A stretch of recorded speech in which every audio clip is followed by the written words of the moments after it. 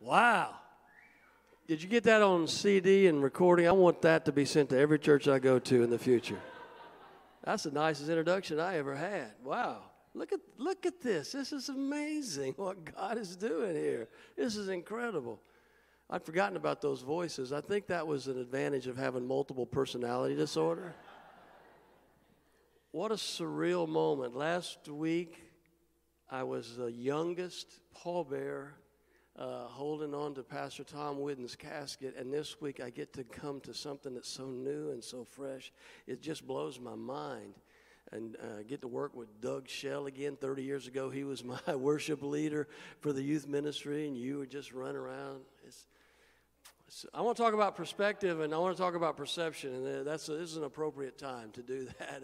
You remember last year, our perception and our perspective was so different than it is today about about coronavirus. I mean, am I the only guy last year that was in my driveway washing my groceries for an hour and a half before I brought them in?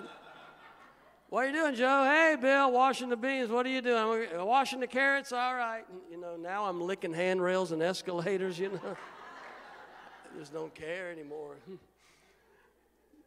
Last time, you know, uh, you go into a restaurant, it says you forgot your mask, and you run like a stalking vulture back to your car, begging God to protect your life. Now you see it and you remember. You look, you find one on the ground. Here, this one. I'll put this one on. I don't care.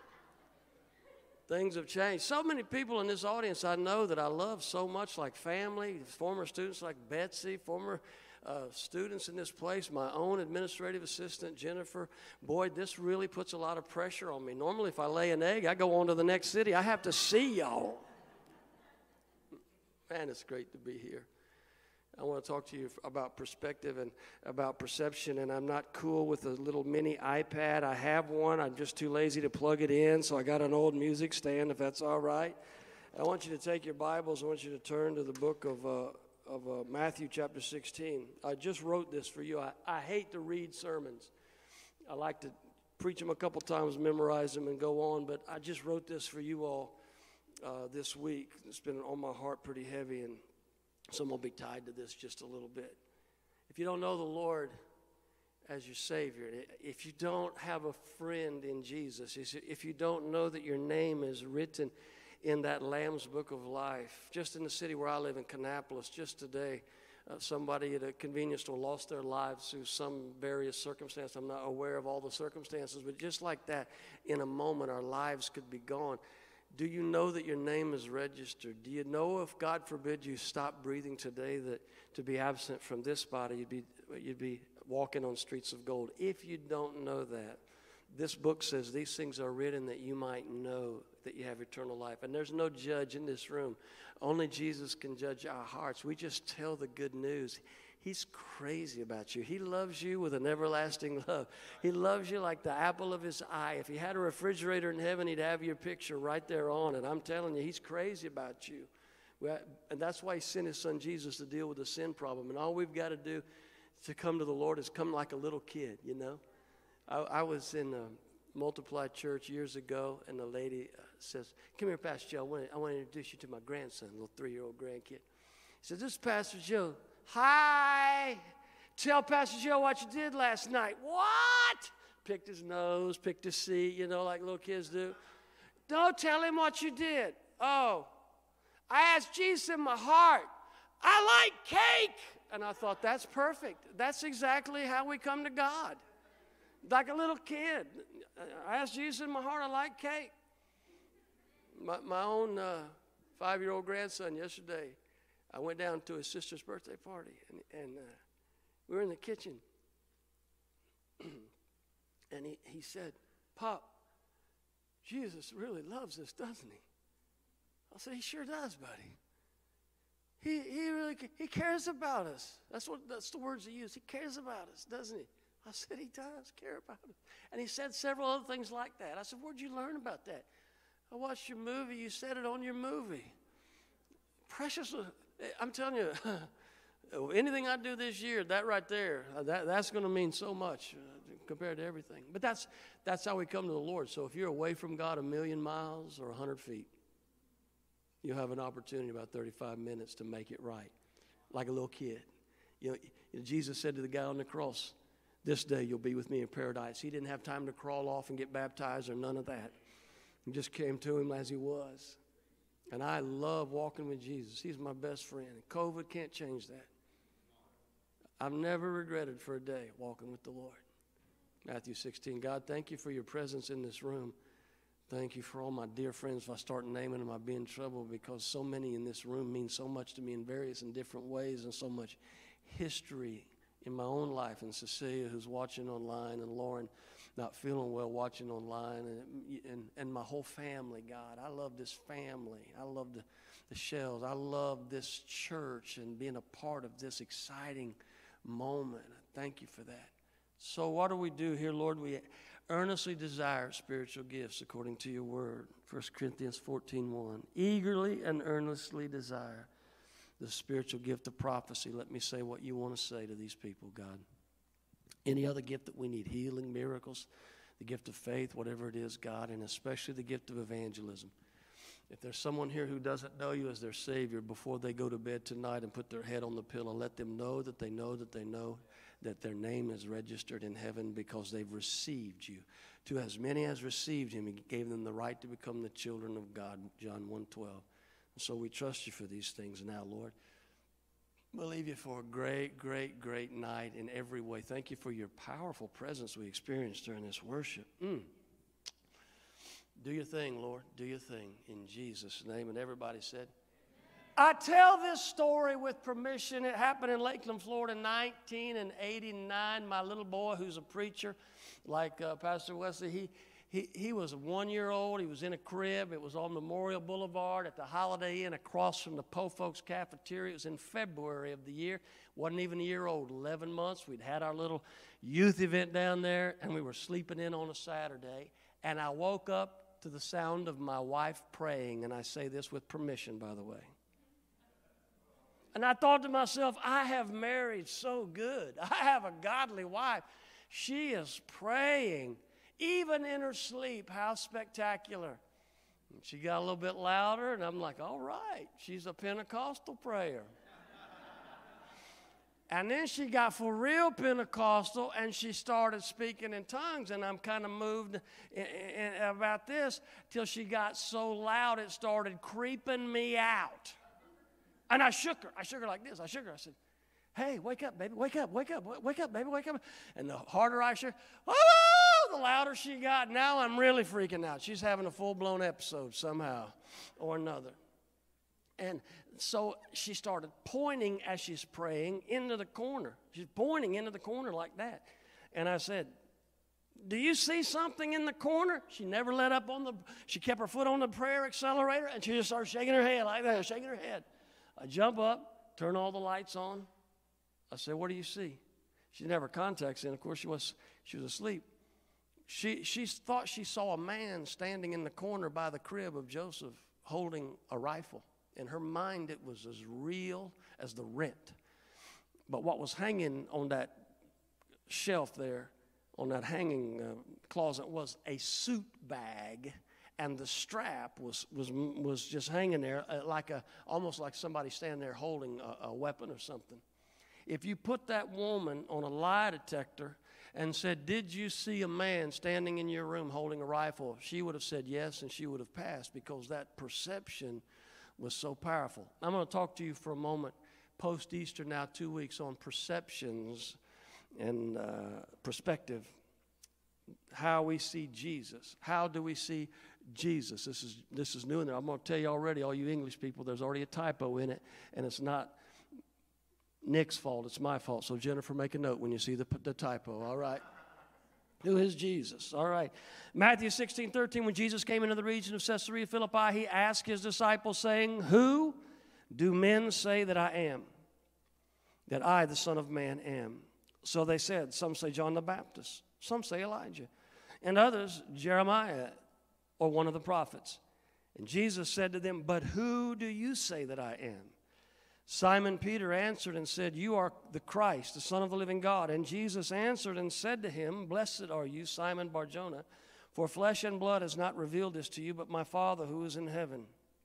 Perception. It's very, very, close to perspective, but it's distinct. Here's the definition of perspective the state of existing in space before the eye, the state of one's ideas, the facts known to one. Synonyms of perspective include attitude, mindset, and viewpoint. It seems very, very close to perception, but they're diff- different and distinct. Here is the definition of perception the act or faculty of perceiving or apprehending by means of the senses or of the mind, cognition, understanding, insight, intuition, discernment. Who is Jesus? Jesus said, Who do men say that I am? Synonyms include awareness, the concept, feeling, impression, opinion, sense, or a thought. I won't read it all like this, but I want to get, excuse me, I want to get this nailed down. Perception is what you interpret, the ability to see, to hear, or become aware of something through the senses, the state of being or processing of something through the, those senses. It's not about one thing, it's about a mix of attitudes and values that you have an insight into. It's what, it's what you interpret, it's, it's the understanding. Now, perspective is your point of view. So I'm going to give you an example. I've spent the last couple of weeks, probably why I have this summer cold, cutting down trees in my backyard. I never felt like more of a man in my life than with that chainsaw. It was battery powered, it was about two volts, but I still. It's three clicks up from a Tonka toy, but I felt pretty good about it. And I've just been working out there. And yesterday, I saw out one of my windows in my house, my neighbor, my new neighbor down there on, on the property line. She's, she's doing this right here to her daughter, and she's doing this. And immediately, my perception of that situation was I have encroached on her property. I don't know my, my property line, I suppose. Maybe I cut down something that was precious to her. Now I'm in trouble. That was my, that was my perception, which changed my perspective of my relationship. Now, in my relationship, I've got to do some fence building. I'm thinking through this thing through the night, even in my sleep. I've got to call a surveyor. I've got to get somebody out here. Maybe I should bring them some brownies if you have any extra. My, I've got all this perspective going. My, so today, out there on the deck, in my private time with the Lord, I see the I see the neighbors, and I'm like, I gotta go. I gotta go start building fences. And I walk down there, and I said, Hey, Paul, how are you doing? And here she comes. Oh boy, get ready, strap in. Here we go. And here come the gestures from this lady again. She gets up to me, and she says, She says, this is unbelievable. You have really made this property beautiful. Way to go, Joe. See, my perception formed my perspective, which forms your values and your beliefs, which ultimately forms your destiny. But it was not the truth. Just my perception, you see. Just my perception. Pauline Moore, a veteran a, of the U.S. military and a certified John Maxwell speaker, says of this. She says, In reality, it is the perception of our reality that controls our perspective. Our perspectives comes from our perceptions. Our perceptions come created from our beliefs. So first comes the perception. Jesus asked the disciples in the text, What are people's perceptions of me? Who, what is your perception of me? What is your perspective of me? So I, I just wanted to come to a few encounters with Jesus and see what people thought about him, what their immediate perception was, what, what the perspective from that came. So first we look at we look at the, the scripture from Mark chapter 6, verse 45. Immediately Jesus and his, made his disciples get into the boat, go before him to the other side to Bethsaida. And while he sent the multitude away, verse 46, when he had sent them away, he departed to the mountain and pray. And when the evening came, the boat was in the middle of the sea, and, and Jesus was alone on the land. He saw them straining at rowing, for the wind was against them. Now, about the fourth watch of the night, he came to them walking on the sea. He would have passed them by, and when they saw Jesus walking on the sea, they supposed it was his ghost, and they cried out, for they all saw him, and they were troubled. But immediately he talked with them and said to them, Be of good cheer. It is I, don't be afraid. And he went up into the boat with them, and the wind ceased, and they were greatly amazed at themselves beyond measure and marveled, for they had not understood about the loaves, because their heart was hardened. Interestingly, I, I went to a, my junior year of high school in Decatur, Alabama. In fact, I saw a guy at Multiply main campus this morning with an Alabama hat on. I said, Roll Tide. I said, well, hey, that's what my wife says. We always have a conflict one day a year. We have therapy on that particular day. One of us is in the fetal position, one of us cheering one day, one day a year. So I say to the guy, Where are you from? He says, uh, He's from Madison. I said, I used to go to Madison to buy my alcohol because I lived in Decatur and it was the largest dry county in the city. This was before the days of following Jesus. And uh, we got to talking a little bit. And I remember that when I was in Decatur, Alabama, my junior year, I wrote a term paper. You could pick any topic you wanted. I wasn't a follower of Jesus, but I picked this passage right here in my bibliography. And I wrote a, to- I wrote a paper on poltergeists and ghosts. And to many, many people, that's exactly what Jesus is. They perceive him as something. The disciples didn't know that it was Jesus. They knew that there was something there, but they perceived him as a ghost. Not the Holy Ghost, but a ghost, a poltergeist, or something like that. This is a society that really does believe in supernatural stuff. One pastor says, I don't want to spook people. I don't want to spook people by emphasizing the fullness of the Holy Spirit. It makes them, it scares them. I said, Have you looked at television lately? They got shows about zombies. They got shows about plane wrecks called Manifest, and they're having special revelations or what are callings or stuff like that. I was in Georgia and preaching, and I, I saw it was in August, and there was a bunch of people in this little central Georgia town, and they were all clumped up, little groups of people all over town, and there was one guy in the middle holding a, a a stick with barbed wire on it. And I, I, I, said to the pastor, What am I looking at? What are these people doing? This is where they filmed The Walking Dead, right here. And it was just creepy as it could be. Well, this is what the perception was from these Jesus people that Jesus wasn't Jesus, but that he was just a ghost. People are looking for supernatural stuff. They may not be look, looking for Jesus, but they're looking for supernatural stuff. They see, they see uh, uh, Jesus' face in an overpass and line up for hours, and his face in a grilled cheese sandwich, and then he'd sell it for a million dollars. You know, the picture is crying. They're looking for supernatural things, and that's what happened here. In a land clamoring for the supernatural, these men see G- Jesus, and their perception is he is simply a ghost. So we're going to look at these three words for each of these encounters pressure, perception, and perspective. Pressure, perception, and perspective because pressure changes our perception, it forms our perception. What was the pressure here? Jesus sent them away without him. Got some abandonment issues a little bit. They don't have the boss or the leader. That's a little bit of a pressure right there.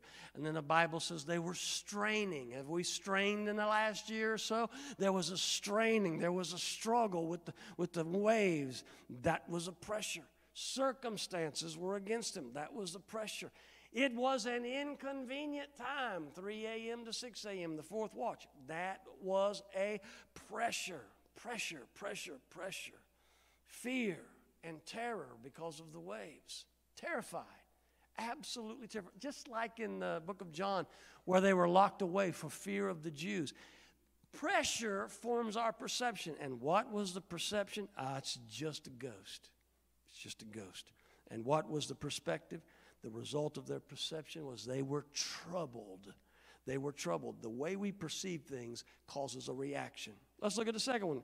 This is a gardener, John chapter 20. But Mary stood outside the tomb and weeping.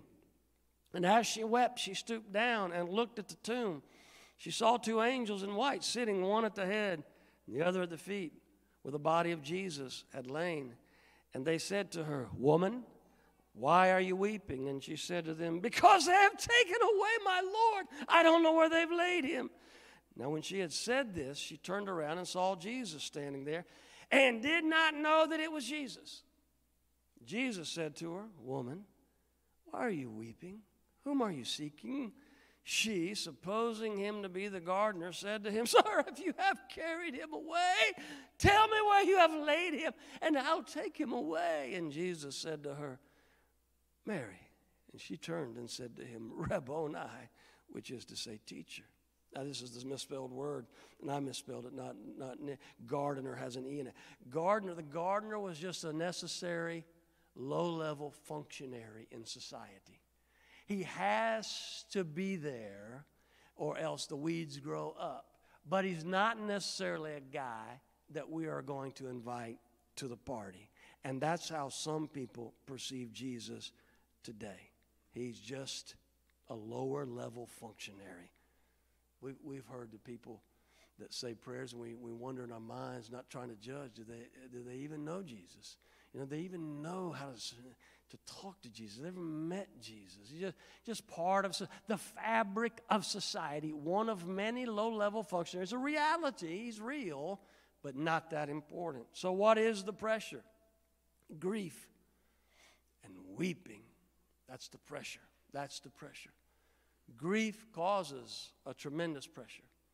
And, and I, I, don't make light of corona and COVID. We know people have died. We know people have almost died. My daughter struggled for 190 days with, with uh, this extended COVID long hauler symptom stuff. I, underst- understand the reality of it is not to make, when I do comedy about it, it's not about the disease, it's about some of the crazy stuff surrounding some of the behavioral stuff.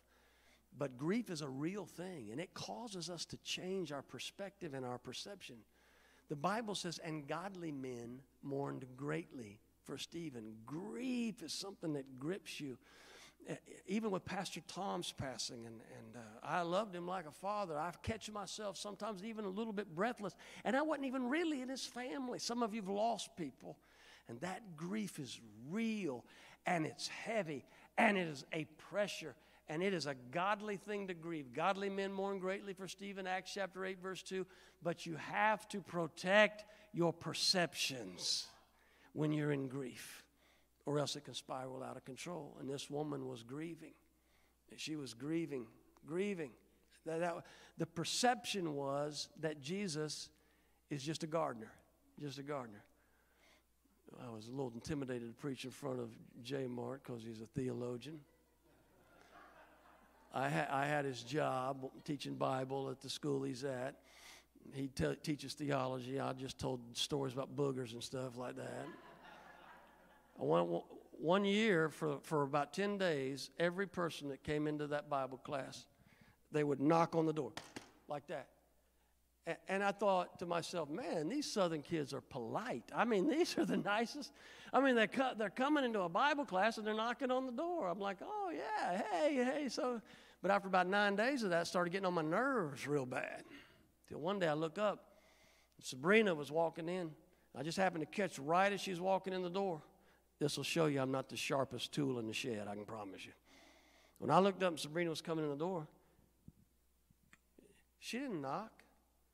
Well, actually, she, she did knock. And I said, Sabrina, why did you knock? She said, Pastor Joe, I didn't knock. I didn't knock on the door. And I'm still looking at her. And the next kid comes in, and the door closer was broken. Every time somebody came in, it was knocking on itself. But my perception was that these North Carolina kids are real door knockers. now, that's silly, but there are people that have perceptions that of big, big things that seep into their DNA that affect their lives.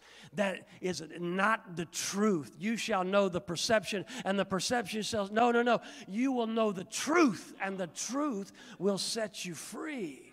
Not the perception. You're just a lower level functionary. I, I, I just want, I just, I just don't need you, gardener.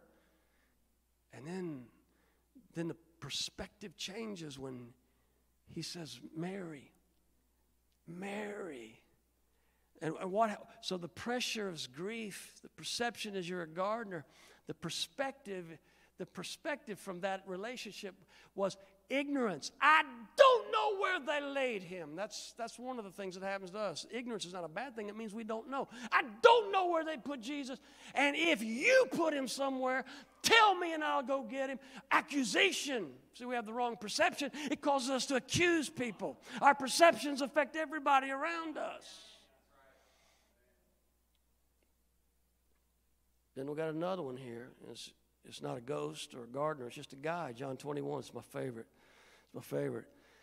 After these things, verse 1, Jesus showed himself again to the disciples at the Sea of Tiberias, and in this way showed himself Simon Peter, Thomas, called the twin, Nathanael of Cana and Galilee, the sons of Zebedee, and two others of his disciples were together.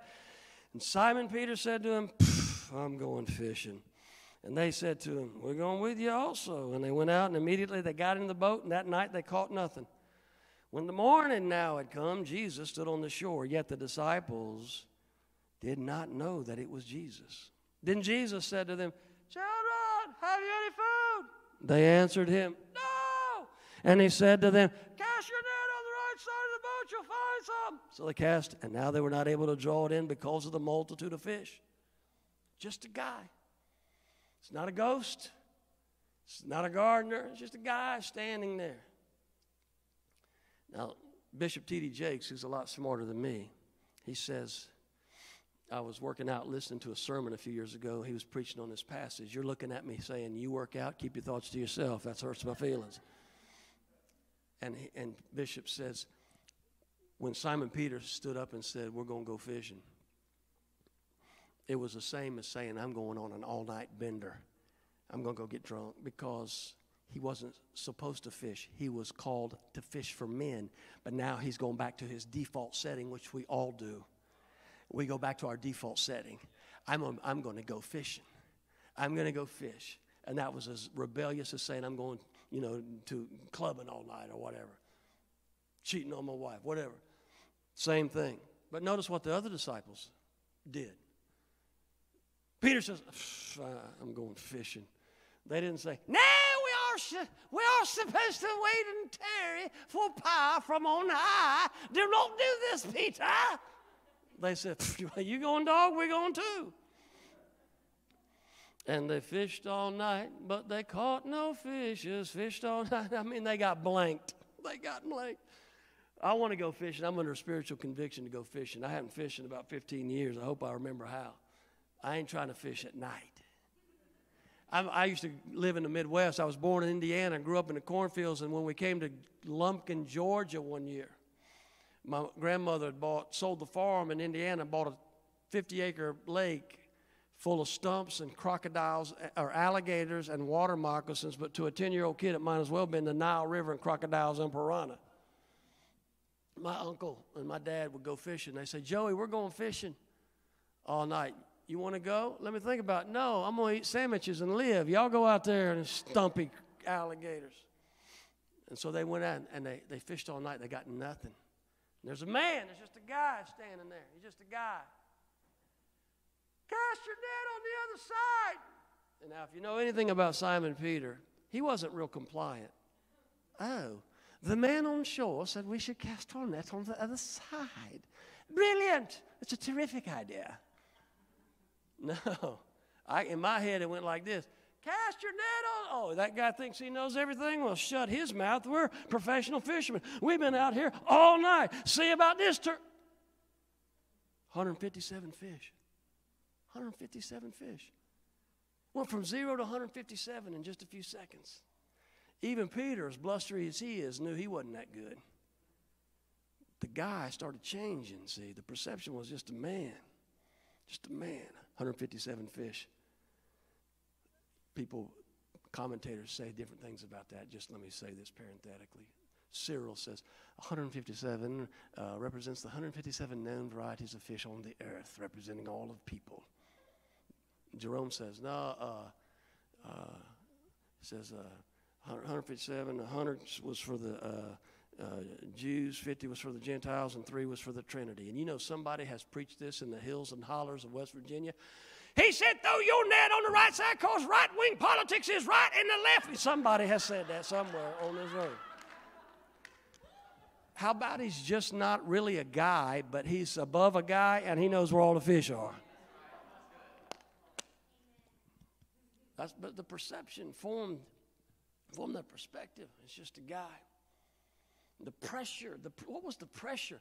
They were filled with dis and deeds. They were disillusioned. They were depressed. They were discouraged. Jesus said he was going to usher in the kingdom.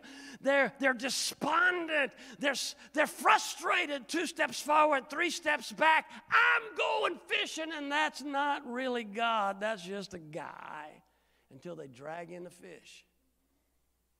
And then the disciple whom Jesus loved, named John. Now, you can look at that any way you want to. When you, you read that, the disciple whom Jesus loved, that he must be arrogant. I'm the disciple whom Jesus loved. or he must be really humble. I'm not even going to give my name. I'm just a dude that that Jesus loved. That's all I am. However you want to interpret it, that guy leans down and says, It's the Lord. And then the perception meets reality. And it's not just Jesus, but it's God. It's not a ghost, it's not a gardener, it's not a guy, but it is God. And when that happens, when those things converge, then life changes dramatically. Verse 7 the disciple whom Jesus loved, it says, It's the Lord. And he jumps in and swims to Jesus. And what is Jesus doing? What is Jesus doing? He's making breakfast for him. Now, let this blow your theological mind. They're doing something they're not even supposed to do, and Jesus lets them be successful at that to reveal that their perceptions can be exploded and the truth can settle in their heart. So, the pressure that they had of discouragement, the perception they had, now it's God. What's the, what's the perspective of their life now? Total restoration. Here's Simon Peter who said, I don't care what these jokers do. I love you more than all them. I'll never, ever deny you. And Jesus said, Before the rooster crows, you'll deny me three times. And Joe Peter swims up into the shore. He's the first one to Jesus. And he said, This ain't a guy, this is God. And God is making breakfast for this backslider. There's only two places in the Bible where there's a charcoal fire. The first is where Peter is warming his hands and denying the Lord. He says to a little middle school girl, he got intimidated by a middle school girl after 15 years of youth ministry. I promise, I know how that feels. They'll eviscerate you, they'll make you cry, go home to your mother. Hey, I know you. You, you were with Jesus. Shut up, I don't know him. Cuss, cuss, and curse. Now, what does he have on the shore? As he's, as, he's, as he's dragging himself up on that shore, does he remember this is exactly the scenario where he called me a few years ago not to fish for fish, but fish for men, and now there's fish on. What is happening right now? Right back to a charcoal fire. Total restoration. When his perception changes, this is not who I thought it was. Who do you say that he is? I wrote this little poem, if I can remember it, on a Delta napkin, and I'm coming to a close here shortly. Trust me.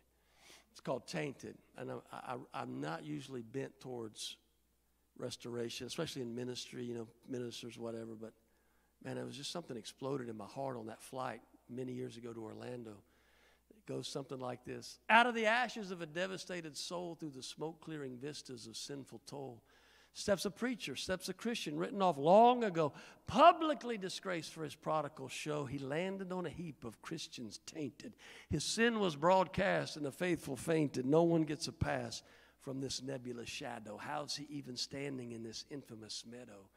Settling in a sediment of black despair, barely could the Christian gasp hope's sweet air, but a voice settled with him though he could barely hear it, the whisper of one dwelling with a contrite spirit, and the voice said, Stand.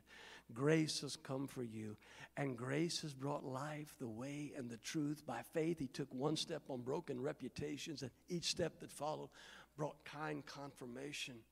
Like Samson at his end, the glory has returned. Redemption is delivered to a man once spurned, walking back to a ministry though not the same, chiseled to simplicity by despair and shame, the Christian now humbled walks out from the ashamed. God's mercy has reclothed him and he has been renamed. Outcast he is no longer, for he has been rescued. A minister once more, a man for God to use.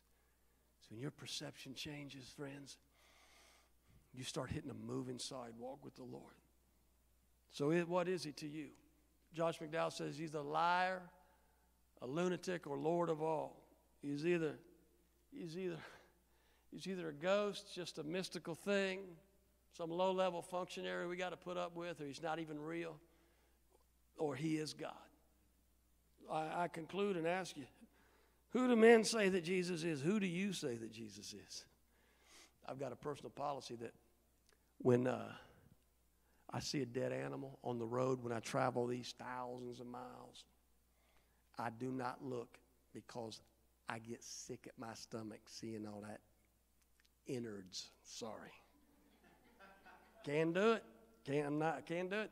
Now my, my wife's fascinated. I wonder that's the small intestine. Look at that. Nop, nop, nop, nop.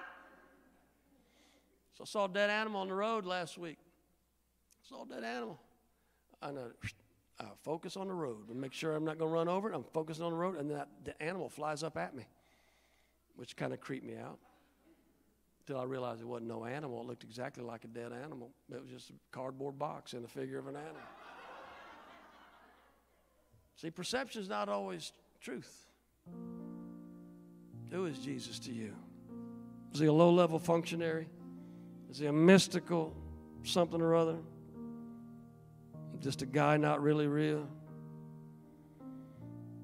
I was, uh, I don't recommend this, but I was looking at a comedian on a, on a clip on the internet. I like to study the craft, and this guy's brilliant. He's funnier than me, definitely richer.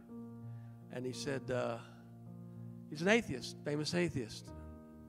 He says, if I ever had the chance to interview God, which is not real, but if I did, I'd ask him one question. I'd say, Why don't you kill Satan? And he would look at me and say, Shut up. No, he wouldn't. Not like a little kid. He wouldn't do that. He wouldn't have to answer. But to every question that I have, why did you take my loved one so soon? to the questions that I have. Why did my 92 year old just plow through Corona and giggle at it like a speed bump, but my 29 year old still suffers from it? Every question that I have. Where is uh, Cain's wife, or whatever those theological questions. Well, why, why do bad things happen to good people? Every answer is not shut up. It's these two words empty tomb. Empty tomb. The cross is important. A lot of people set themselves on fire and blow themselves up for causes The cross is extraordinarily important, of course. But, the, but, but a lot of people can die for a cause, but nobody could resurrect themselves from the dead. That was God. Empty tomb. Empty tomb. This message applies to a lot of different things. I'm settling on Jesus, but I, I remember a few years ago in a church in Georgia, I preached in I'd been a youth pastor of that church for five years, a long time ago, and I saw this woman talking to the pastor's wife in the back, and the pastor's wife was gesturing for her to go, go, go on, go on up there. She comes up and she said, Can I talk to you? I said, Yes, ma'am. She said, Do you remember me? I said, I'm sorry. I, I'm so sorry. I see a lot of people. Do you remember I called you? Well, tell me more. I called you and I asked you to visit my son because he was suicidal. I said, uh, What? Yeah, and your secretary said that you would never do that. And the next day, the next day killed himself. I said, Dear lady, when did this happen? She said, 21 years ago. I said, Ma'am, I said, things get under the radar in my life. Jennifer can tell you that. Things get under the radar, and I, I miss stuff that's important, but I don't miss that kind of stuff. I've driven six hours to be with somebody in the hospital before their 6 a.m. surgery. I don't miss that kind of stuff. She said, I know. It didn't sound like your heart at all when you preached. I think maybe we got that wrong. My husband died last year, and we both, we both hated you for 21 years. You see how perception will cause you to go down a road that God never intended you to go down? But revelation now, see. Revelation it's his ghost. He gets in the boat. No, it's not a ghost. It's God. It's you're the gardener. Tell me where you laid him. Mary. Rabboni. It's God. It's just a guy on the shore giving us fishing tips. Wait a minute. That's God making my breakfast.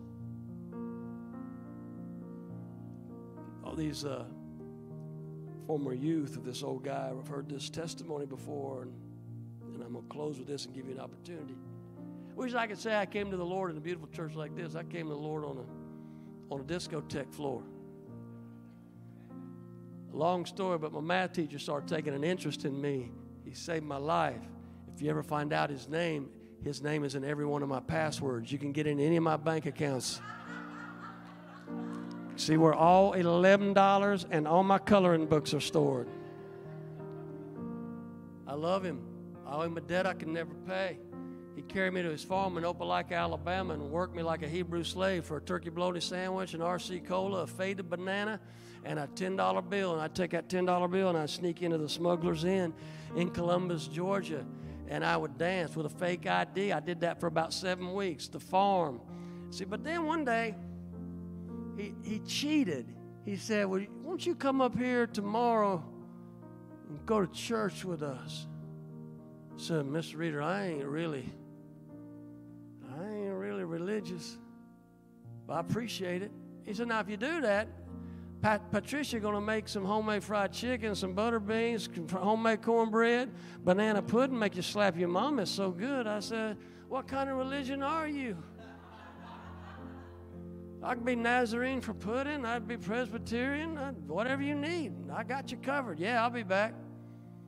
And I'd been, see, to me, Jesus was just a ghost all the way back to my research paper. He was just a low level functionary. I didn't really believe in him. This man, as a Baptist man, took me to a Pentecostal church on the hill. And, and the old timers remember the choirs that all had robes. I'd never seen anything like that.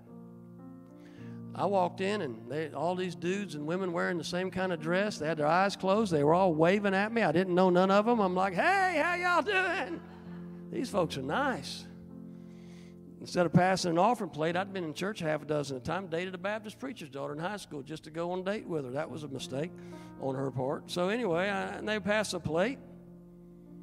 But in this, they had a bag. I'm looking for juicy fruit. I didn't know anything about anything. I was just poor. I was so poor, I'd go to Kentucky Fried Chicken, lick other people's fingers. I'm telling you, I was broke down, man. I was broke with no hope, zero. And that church was, I felt something. I mean, somebody starts speaking Swahili. I'm like, can we leave? Oh, chicken. That's right, chicken. I know there was something in that room. It's just a man standing on the shore to me. I didn't, I didn't know.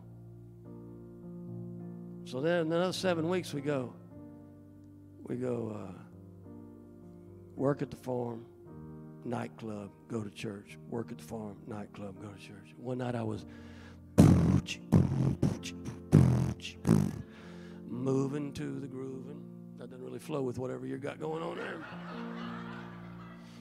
I was listening to Kool and the Gang and Rick James, and I remember I was dancing with the married lady. I remember that vividly.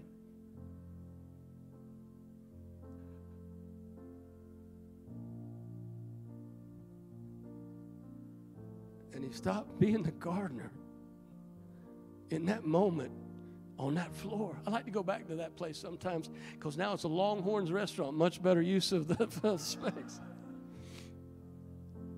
Heard a voice, louder than a voice, say to me, Joe, I love you.